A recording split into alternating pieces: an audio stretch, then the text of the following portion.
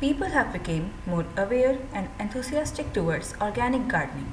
The problem poses how to do it, where to start, what do I need, what problems can arise, who to ask for help, where to get all the required stuff. Utsav wants to turn his balcony and terrace into a garden for growing some organic fruits, vegetables and some beautiful flowers to get a healthy produce and add greenery to his house. He also plans to persuade people in the neighborhood to do so. His problem is he pays to take care of his plants and doesn't precisely know the do's and don'ts of gardening. He has no one to help him.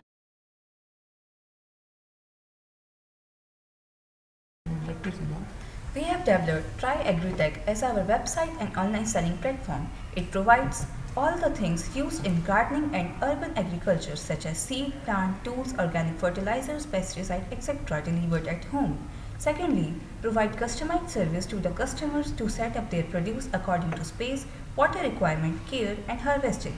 Third, an AI chatbot for general queries. Fourth, an online community of users to share doubt and experiences.